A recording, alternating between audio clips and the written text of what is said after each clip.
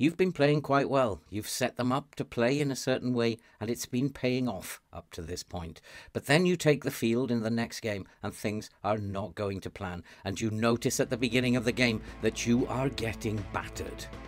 Well, at that point, you have to change something, or you're going to pay the price. And very often, you are going to have to completely change the way that you are playing, as we did in this game we're about to see. Let's go and kick some balls.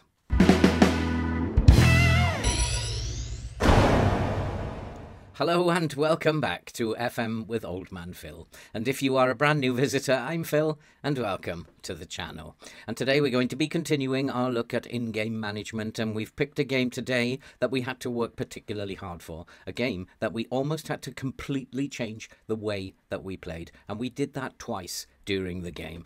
So it is quite an interesting game to look at in terms of how you have to make changes sometimes in order to get the result that you need. This is from our Journeyman Save, which we do live on YouTube on Tuesdays, Thursdays, and Sundays. We do that at 8 p.m. So please come and join us because we have now in our fifth club got off to a fairly decent start. I underestimated West Ham and we lost by two goals to nil, and then we went on a particularly good run. The game we're going to see is the game that we played against Tottenham, who at that time were 19th in the table. It was a game that we should be looking at winning. We had just drawn nil nil with Arsenal to recover from that West Ham defeat, and then we beat Manchester City at home. So we were confident that we'd set them up correctly against Tottenham and that we could get a result in this game. Newcastle, previous to my arrival, had been playing with three at the back system. I decided that we had good enough players to continue doing that. I tweaked the tactic a lot, and then we uh, went and uh, lost against West Ham, but we have recovered, as you have seen. So the tactic seemed to be working. It's a gegenpress, and uh, we had put a lot of pressure on Arsenal and Manchester City, and we had got four points out of six, which I was not expecting to happen. We have moved up to seventh in the table table now, and we are on course to finish in the top half of the table as the board required. Possibly even challenge for the Champions League. Who knows what is going to happen? Join us Tuesday, Thursday, and Sunday at 8 pm on YouTube for our live streams. And so we are going to look at this game that we played against Tottenham. But before we do that, if you are brand new to the channel and you like FM content and you love to see people suffer playing the game, then why not hit that subscribe button, click the bell, and then you'll be updated when we upload future content. And while you're there, hit the like button because it's likes and comments that help drive the algorithm to push the video out to people who've not yet had a chance to see our videos. Thank you all for your support. Now, Let's go and have a look at this game and see what we did in game to change the game in our favour. Let's go and kick some balls. And so we have set up in the way that we set up before. Some of the team are still getting used to the way that we're playing and were not particularly happy. And I had no reason to suspect that Tottenham, who were 19th in the table, we should not be, we should not be losing this game. That we should win it in fact quite comfortably. And so we went off onto the pitch. But Tottenham clearly, right from the start, decided that they were going to run at us. And I could clearly see that they were going to run at us down the left hand side in the main in the early stages because that's on the right hand side is where we had our complete wing back on attack. And they were trying to exploit that space. They were also looking like they were running at us and trying to exploit those flanks. As yet, we haven't seen it, but later we'll see they were playing diagonal balls, trying to get behind us, and immediately we are under the cosh. And at this point, I'm starting to think if I don't do something, and here's another example of them running at the at the defense with the ball. And if we don't do something, we are going to lose this game. I decided to demand more from them just in case it was that they weren't giving 100% at this point in time. But I felt even at this early stage with just 4 minutes gone that something was not right, that the way we were playing was not working. In possession, we looked okay, but we were struggling for possession. We were zipping the ball around at a high tempo but giving it away. And so I decided there are two things that I needed to do, especially when this happened, when once again you can see that diagonal ball trying to get behind our wing backs. We had very little um, in terms of possession and highlights, although we were matching them for possession, but they were still coming at us. And I really knew now if I don't do something quickly, they are going to score. And so we had to make some changes. And so the first thing that I did was to slow the game down. So we lowered the passing to tempo to slightly lower and I then decided I was going to reduce the line. I was going to bring the line back so that we were sitting deeper. So they were going to struggle to get the balls behind those deep diagonal balls or balls over the top. We wanted to try to stop them doing that by bringing the line back. It should um, give our defenders more time to defend against that type of ball. And so we, the possession we lowered because I just wanted us to hold on to the ball to control the game, just start playing the ball around. And we started to look like we were playing a lot better. We've changed the style from the gegenpress that we were playing. We're now looking much more like a control possession team, although we are still pressing them high up the pitch and um, I noticed that their winger was causing us a little bit of a problem um, on the left, so I decided that we should tight mark him. It was a gamble because I've got this attacking wing back um, at, on that side that he's playing. But I wanted to see if by tight marking him, we could actually just take him out of the game. Four key passes this early in the game is a lot.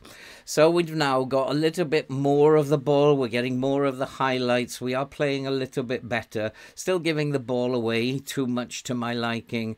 And so I've got to make a few more changes, I think. Um, even though we look decent now, we still need to do some more to control this game. And um, we are doing okay, though. We're looking like we are going to create some chances now, which we didn't look like in the first part of the game. And so the little tweaks that we've made have actually made a difference. I do have a problem scoring goals at the moment, and my strikers are not functioning properly. I've played around with the roles a little bit, but we still haven't solved that problem. We'll solve it, but it's just probably going to take a little bit bit of time. But at this point, we are at least getting the ball into their box by reducing the tempo and the and the the defensive line. We've done a good job there. But at this point, I also noticed that they are also playing a very controlled possession, short passing game, and they they were able to ease past our press. And so I kind of felt we need to do something about the press that we're playing, because if the press is not working, then there's very little point in doing it. And so what I did at this point was to come off the counter press, and now we have changed our style of play completely, and we are playing a short passing controlled game, and that's what I've asked them to do. The Gegenpress, the heavy Gegenpress that we played against City and Arsenal, is not working. So, having changed it, we are looking like a better team, and we are controlling the game a little bit better, although Tottenham are still very, very dangerous. I had thought about coming into a mid block, but I decided just getting bodies in the way will make us defensively stronger. They haven't scored against us, so I don't think that we need to be that desperate at the moment. We'll continue to play high up the pitch. We'll play a short passing game and see what happens. And still, we are creating chances, but we are not getting balls on target. At this time, I decide um, my, my strikers can play both of the roles up top. I'll try and get a little bit more movement up top, so I decided to get them to switch positions. That's just by the by, just to try and open up space for us. And so we are pretty much now coming back into the game. Tottenham are still the better team, but you can see from the bottom that we are gaining momentum. Tottenham again, though, are pressing us. They are looking to break us down the flanks, um, but the line movement has made a really big difference. And so they keep pressing, but we're defending well, and uh, the line is holding at standard.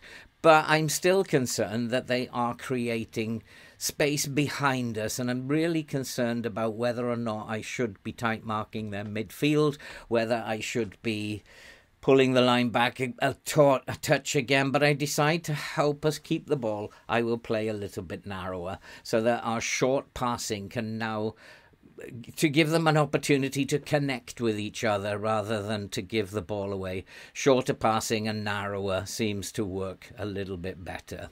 So we've held out, we've done well. We're coming up towards the 40 minute mark and we've done extremely well. We get a free kick on the edge of the box and Bruno buries the free kick, much against the run of play, I think but we've made changes that have helped us to be a little bit more patient with the ball, stop giving it away, and defend a lot better. And I guess FM has rewarded us for those changes that we've made. So from a free kick, we've gone a goal ahead, and we are now delighted. And I'm starting to feel that we are getting a grip on the game now. We've got much more possession, we're passing it around with ease, and we are a goal in front and it's a very even game at the moment, despite the fact that we're still just slightly behind on the possession stakes. I could slow the game down even more, um, but I decide that as we are ahead, there's no need to panic now. Let's just keep playing as we are. And as we reach half time, I'm very pleased, although I want to tell the team that things are going well, but they can do better. And so we send them out with that message and start the second half and I'm not expecting things to be any more different than they are at this stage in the game. And we are still passing the ball around. We look comfortable and Tottenham are pressing us very hard. They do have a lot of pace up front, and so dropping the line has helped to cope with the pace that they have up front. And they are good dribblers, and they are running at us, and uh, that defensive line adjustment has served me very well and we are playing completely differently now to how we set the team up. We've totally come off our gegenpress. We are playing a much shorter, controlled passing game, and it seemed to have paid off. We've caught them offside there, and we are looking in control as we come up to the hour mark. I don't feel worried at all, and I'm trying to figure out are we doing things right. I decide to come off the trigger press a little bit uh, just to help conserve energy at this point, as Tottenham are still running at us at this point in the game. So we conserve a little bit of energy and we get another free kick, and Bruno does it again. And so we are now 2 0 up. And I think that FM is a puzzle, and we unraveled the puzzle by realizing that their our line was too high and that if we dropped the line they wouldn't be able to use their pace use their dribbling skills and they wouldn't be able to use that diagonal ball against us. And so by dropping the line by trying to get more possession we've pretty much come back into the game, and FM gave us two free, kicks and allowed us to score from those free kicks. Tottenham are still, as you can see, trying that ball over the top, the diagonal ball, but we're defending resolutely against it now. Our defenders have extra time to control what's going on, and I think the game now is in the bag. Although I'm still going to be very wary that Tottenham are going to come at us. They seem to feel that they can win this game or at least get something out of it. And so they are still coming at us. We have got a period here where we're in control of the game and ball into the box. We still can't get the ball into our forwards, but we're passing it around nicely. We look the better team at this point in the game. Our controlled passing is winning the day. We again look dangerous as we try to feed in a through ball, but it comes to nothing. And each highlight now seems to be going the way of Newcastle, and that makes me happy. The less highlights Tottenham have, the happier I'm going to be. We are putting them under pressure, and we look the more likely team to score at this point. It's really important, though, that you keep an eye on the game. Do not at any time assume the game is won at this stage. Two goals is not enough. And what we don't want to happen is to see them coming back into the game. And there is going to be a period where Tottenham look like they are going to score. And so we have to make another change at that point. And it's linked to the fact that Tottenham are at this stage starting to look physically tired and we are looking a stronger side than they are. And so I'm thinking about making another change here. I'm just going to delay it a little bit. Um, I make some substitutions to get fresh players on the pitch to really um, adjust the balance of tiredness in our favour. Tottenham, though, are coming back into the game. They are passing it around. They are looking to to pass around us. They seem to have overcome the fact that our line has been pushed back, and they are looking very, very dangerous. But we're continuing to de- to defend very well, and we attack extremely well. Now, with that run by the fullback, I did decide, make a decision at this point that if they are pushing forward now, as we can see they are, then they are going to leave space behind them. And so I've made the decision already in my head that I'm going to go back to what we were originally set up to do. And I will do that very shortly as Tottenham seem to be getting a grip on the game. We adjusted our game to deal with them early on, but they've now got to grips with it. So I'm going to make some more changes now, and I'm going to up the tempo that we're playing. We are fitter at this point than Tottenham.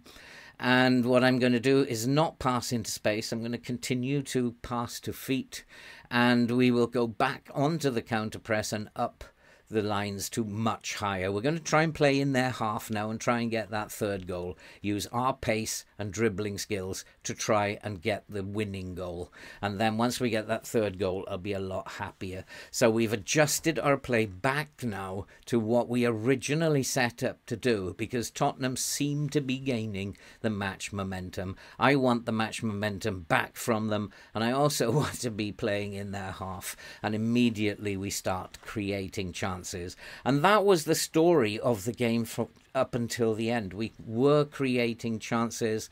I decided at this point to make uh, one more change to help our boys.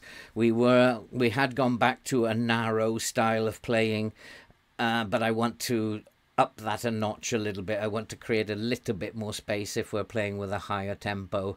Playing with a higher tempo is obviously more risky, but we get away with one or two things. We have got the match momentum back now, and I decide to play fairly narrow just to spread the defence out as well. And um, we are going to go back to a very positive way of playing from balanced and we're going to take the game to them now. I want to play in their half, not in our half. And so this is how we originally were set up to play, and this is how we are ending the game. We won the game by changing to a controlled possession style, but we are going to end the game taking the game to them as they have got tired. And we still look comfortable. We're passing the ball around and it looks very nice indeed. And then this Wonder Kids sub came on, produced a brilliant pass, and there it was 3 0. And we had absolutely hammered them. There was some question of offside, but the goal was awarded. And so we went on to dominate the game and we won the game. We we could have scored even more, could have been 4 0 or 5 0. But the changes, again, that we made were based on what we were seeing. And if you do make those changes, you will get results. And so I've always said that if you watch the game as a manager and not a spectator, you can see what's happening on the field and you can make adjustments accordingly. And nine times out of ten, FM is going to reward you for those adjustments and we recognised that they were trying to get the ball behind our wingbacks. We adjusted our defensive line accordingly, and we also made an adjustment to change the style of play from gegenpress to a controlled passing play. That enabled us to get ahead. When Tottenham tired, we went back to how we were set up originally and saw the game out. And that is how we managed to get the result, and I think slightly against the run of play. And that's it for this video. If you are brand new to the channel, you like FM content, then hit that subscribe button, click the bell, and you'll be updated when we upload future videos. And all that remains to be said now is thanks for watching. Hope you got something out of it. And we'll be back with a brand new video very shortly. Don't forget to join us in the live streams at 8 p.m. on Sunday, Tuesday, and Thursday, where we play the game exactly as I played it in this video. So if you are brand new to the game, it might be useful for you to pop along. Come along and say hi and join the ever growing population in the chat that we have there. Thanks for watching. All that remains to be said now is stay safe, take care, and we'll see you in the next one.